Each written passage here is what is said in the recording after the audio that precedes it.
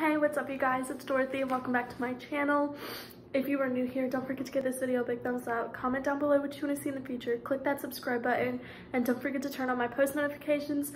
That way you lovely people get notified every single time I upload a video. In today's video, we are going to go into chapter 17 of As Good as Dead by Holly Jackson. And I'm sorry if the table is like shaking or the camera is, I should say. I have you propped up on some salt and pepper shakers on a lazy Susan right now. so yeah, let's get right into this video. This video may contain sensitive topics and foul language. If you do not wish to continue, please click off of the video now. You have been warned. Chapter 17. Her blood didn't feel right. It was too fast, foaming uncontrollably as it crashed in and out of her chest. Maybe those two coffees in a row at the cafe had been a mistake, but Kara had offered, so Pip looked tired, said Pip looked tired at ungodly hour of the morning, at this un odd, ungodly hour of the morning. Now Pip's hands were shaking and her blood was fizzing as she walked from the cafe toward Church Street. She was running on empty, no sleep at all last night, none. Even though she'd taken a full pill, a double dose, it was it was wasted on her after reading through Billy Karras's interview transcript more times than she could count, sounding out the voices in her head like a play that pauses filled with static from the recorder, and the voice she imagined for Billy. It didn't sound like a killer at all. He sounded scared and confused. He sounded like her. Every shadow in her room had taken on the shape of a man watching her wrapped up in her comforter. Every blinking electronic light was a pair of eyes in the dark, the LEDs on her printer, and the light in the Bluetooth speaker on her desk. It was even worse after the news the new message came through at 2.30, the word shrinking to her, shrinking to, to just her and those prowling shadows. Pip had lain there, eyes growing scratchy and dry, she stared up at the black ceiling. If she was being honest with herself, truly honest, she could hardly even call that a confession at all. Yes, the words had come out of Billy's mouth. Yes, he said I was the one who hurt those women, but the context changed everything. The lead up and the aftermath. They stripped the meaning right out of those words. Maria hadn't been exaggerating, hadn't been twisting the truth because she'd read the transcript through a, through a mother's eyes. She was right. The confession did seem coerced. The detective had trapped Billy into a corner by talking in circles, catching him in lies he never meant to tell. No one had seen Billy with Tara Yates the night before. That wasn't true, and yet Billy had believed it on, believed it of himself, believed a made-up person over his own memory. Lieutenant, Lieutenant David Nolan had fed him everything, all the details of the murders. Billy didn't even know how he killed his own victims before being told. There was a chance it was all an act, a clever ploy by a manipulative killer. She tried to com comfort herself with, a, with that thought, but the, that was overshadowed when placed beside the other possibility that Billy Karras was an innocent man. Now that she'd read his confession, it was no longer just possible, no longer a week maybe. In her gut, she could feel it tilting, abandoning, maybe to reach for other words, likely plausible. And there must be something wrong with her because part of her had felt relieved. No, that wasn't the right word. It was more like excited, her skin prickling, the word world shifting into half speed around her. This was it, her other drug, a twisted and writhing knot for her to untie, but she couldn't believe that part without accepting the other, the one that came with it, hand in hand. Two halves of the same truth. If Billy Karras was innocent, then the DT killer was still out there, out here. He was back, and Pip had one week left before he made her disappear. So she would just have to find him first, find whoever was doing this to her, whether it was the DT killer or someone pretending to be. The key was green ski Green Scene Ltd, so that's where she would begin, had already begun last night as the clock on her dashboard ticked past 4 a.m. and on. Pip had scrolled through her old documents, searching through files and folders until she found the document she needed, the one that had snuck up on her brain like an itch reminding her of its existence, of its importance as she tried to think through everything she knew about Jason Bell's company. Back into my documents. and the folder labeled schoolwork into senior year, and the folder sat halfway between her AB classes senior capstone project. Pip clicked into it, revealing the rows and rows of Word documents and sound files she made one year ago, photos and JPEGs, the pages of Andy Bell's academic planner spread open on her desk, and an annotated map of Fairview Pip had drawn herself. Following Andy's last known movement, she scrolled down through all cap all the capstone project log documents until she found the one, the itch, Capstone Project log Entry 20, the one with the interview with Jess Walker. Yes, that was it. Pip had reread it, her heart kicking up as she realized its relevance. How strange that a throwaway detail back then could be so vital now, almost like all of it had been invet inevitable since the very beginning, a path Pip didn't know she'd been following all along. Next, she researched where Green Scene Ltd. and Clean Scene Ltd. were based, a yard and office complex in Weston near Devil's Den Nature Preserve, about a 25-minute drive from Fairview. She'd even visited through Street View of Google Maps while she sat on her bed, virtually driving up and down the road outside. The complex was off a small country road surrounded by tall trees captured here on some past cloudy day. She couldn't see much from the road apart from a couple of industrial-looking buildings, parked cars and vans, all encased within a tall metal fence painted forest green. There was a sign on the front gate with colorful logos for both sister companies. Up and down she gone, haunting the pixelated place like a ghost out of time. She could stare at it all she wanted, but it wouldn't give her the answer she needed. There was only one place she'd get get these, get those, not in Weston, but in Fairview. Right here, right now. In fact, as she glanced up and realized she almost arrived, and something else too, there was a woman walking toward her, a face she knew, Dawn Bell. Andy and Becca's mom. She must have just left the house, an empty plastic bag swinging from her arm. Her dark blonde hair was pulled back from her face and her hands were lost in those arms of her oversized sweater. She looked tired too. Maybe that's what this town did to people. They were about to pass each other. Pip smiled and dipped her head, not knowing whether to say hello or not, or to tell her she was just about to knock on her door to speak to her husband. Dawn's mouth flickered, as did her eyes, but she didn't stop, looking instead at the sky while she slid her fingers beneath the gold chain of her necklace, fiddling the pendant back and forth so it caught the morning light. They passed each other and carried on. Pip checked over her shoulder as she went, and so did Dawn, their eyes meeting for one awkward moment. But the moment went on of Pip's head as she reached her destination, staring up at the house, her eyes following the crooked roof line to each of these chimneys each of its three chimneys, old stippled bricks overwhelmed by shivering ivy, and a chrome wind chime mounted beside the front door, the Bell's house. Pip held her breath and she crossed the road toward the house, glancing at the screen at the green SUV parked in the drive beside a smaller red car. Good, Jason must be here then, not already on his way to work. There was a strange feeling at the base of her spine, uncanny and un otherworldly, like she wasn't really here, but it was but in the body of herself from one year ago, displaced out of her own out of her own time as everything came back full circle. Here at the Bell House once more because there was only one person who had the answers she needed. She rapped her knuckles against the glass of the front door. A shape emerged in the frosted glass, a blurred head, and as a chain scraped against the front door, and it was pulled open. Jason Bell stood in the threshold, buttoning the top of his shirt, smoothing down its creases. Hi, Jason, Pip said brightly, her smile feeling tight and rubbery. Sorry to disturb you this morning. How are you? Jason blinked at her, registering who it was standing on his doorstep. Uh, what, what, do, what do you want? he asked, dropping his gaze to, to do up the buttons of, on his cuffs too, leaning against the doorframe.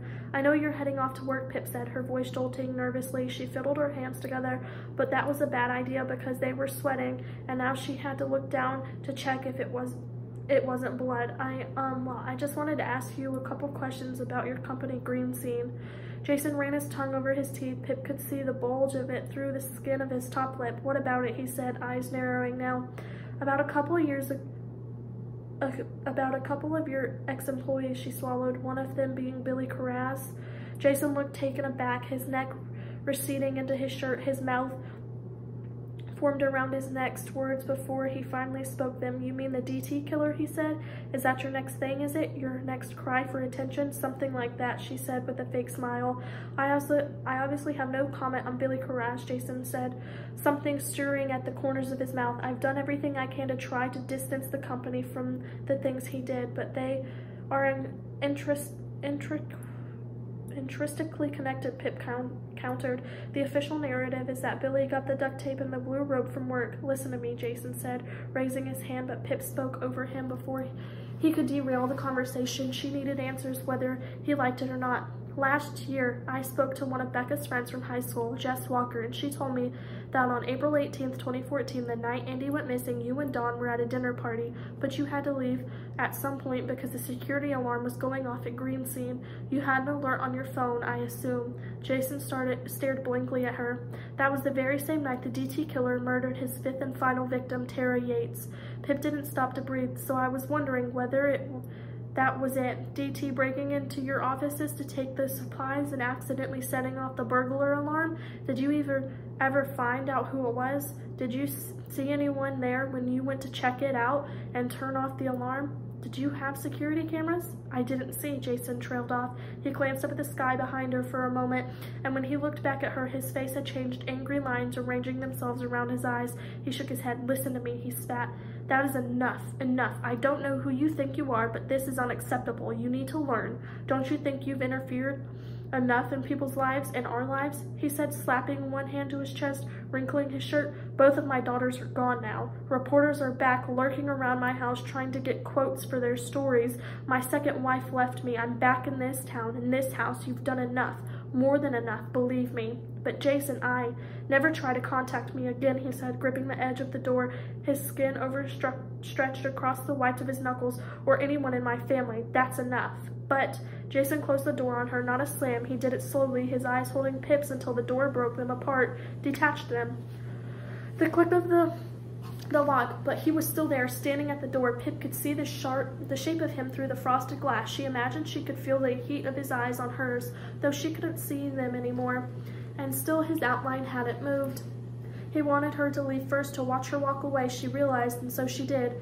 Hoiking up the straps of her bronze backpack, her sneakers scraping on the front path, it might have been wishful thinking to have brought her microphone, her laptop, and her headphones. She should have expected that reaction, really given what Hawkins had told her. She didn't blame Jason. She wouldn't be welcome on a lot of doorsteps in this town, but she needed those answers. Who had set off the alarm at Green Scene LTD that night? Excuse me. Was it Billy or was it someone else? Her heart was still going too fast, much too fast, and now the beat sounded to her like a timer ticking down to its own end. Halfway down the road, Pip checked over her shoulder, looking back at the Bell's house. Jason's silhouette was still there in the doorway. Did he really need to watch her until she was out of sight? She got the message she would never go back there. It had been a mistake. She rounded the corner onto Main Street and her phone started vibrating in her front pocket. Was it Ravi? He should be on the train at this time. She slid her hand into her jeans and pulled out the buzzing phone. No caller ID. Pip stopped walking, stared at the screen, another one, a second one. It might just be a, a robocall, but it wasn't, she knew. But what should she do? She only had two options here, red button or green. She pressed the green and held the phone up to her ear. The line was silent. Hello, she said, her voice coming out too strong, crackling at the edges. Who is this? Nothing. DT, she said eyeing some children squabbling across the street, recognizing one of from Josh's soccer team. Are you the DT killer? A sound. It might have been a car driving past, or it might have been the breath in her ear. Will you tell me who you are? She said, scared she would drop the phone because her hands were suddenly slick with Stanley's blood. What do you want from me? Pip stepped out into the road, into the crossing, holding her breath so she could hear his instead. Do you know me? She said. Do I know you?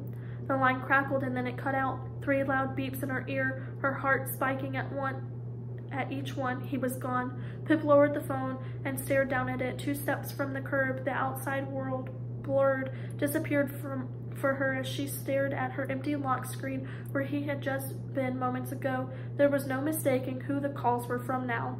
Her against him, save yourself to save yourself. Pip heard the crackling of the engine too late, the screaming wheels behind her. She didn't need to see to know what was happening, but in that half second, instinct grabbed hold of her and launched her legs forward, reaching for the sidewalk. A screeching sound filled her ears and filled her bones. As her teeth in the car swerved away from her, one foot landed and skidded out from under her. She crashed to her knee, catching herself with one elbow, the phone skittering out of her hand across the pavement. The screeching broke into a growl, fading as the car turned right and sped away before she'd even had a chance to look up. Oh my god, Pip, called a bodiless, high-pitched voice somewhere in front of her. Pip blinked, blood on her hands, actual blood from the scrape across her palm. She pushed up herself up on one leg, still one leg still jutted out into the road as the set of footsteps hurried toward her. Oh my god! A hand came out of nowhere, held out in front of her. She looked up.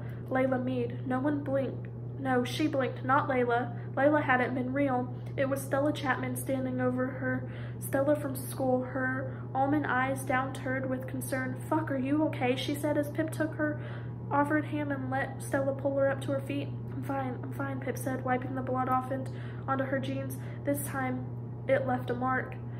The, that dickhead wasn't even looking, Stella said, her voice still high and panicked as she bent down to scoop up Pip's phone. You were, you were at the crossing, for fuck's sake. She placed the phone into Pip's hand remarkably unscratched. Must have been going at least 60, Stella was still talking, too quickly for Pip to keep up.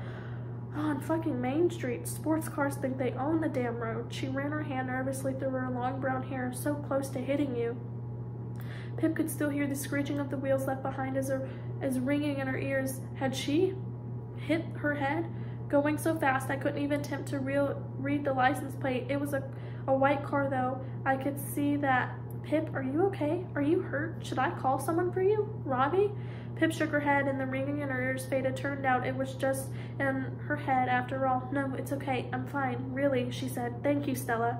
But as she looked at Stella, at her kind eyes and her tan skin and the lines of her cheekbones, she became someone else again. A new person, but the same person. Layla Mead.